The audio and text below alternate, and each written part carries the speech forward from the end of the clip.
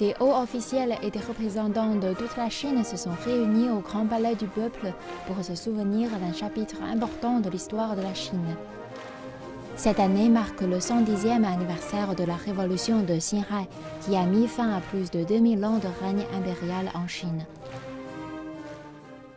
La révolution est d'une grande importance historique, car elle conduit à l'établissement de la République de Chine et aux changements sociaux qui ont suivi dans le pays. Le président Xi Jinping a prononcé un discours lors de l'événement soulignant l'intégrité nationale.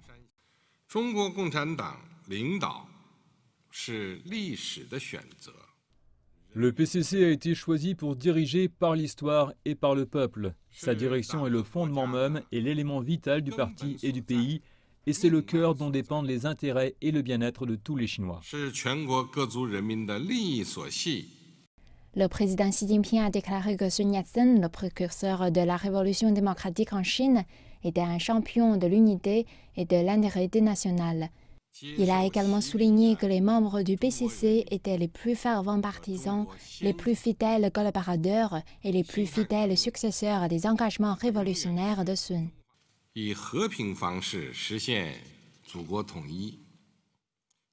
La réunification nationale par des moyens pacifiques sert au mieux les intérêts de la nation chinoise dans son ensemble, y compris nos compatriotes à Taïwan. Nous adhérons aux politiques fondamentales de réunification pacifique et d'un pays deux systèmes, respecterons le principe d'une seule Chine et le consensus de 1992 et travaillons pour le développement pacifique des relations entre les deux rives du détroit.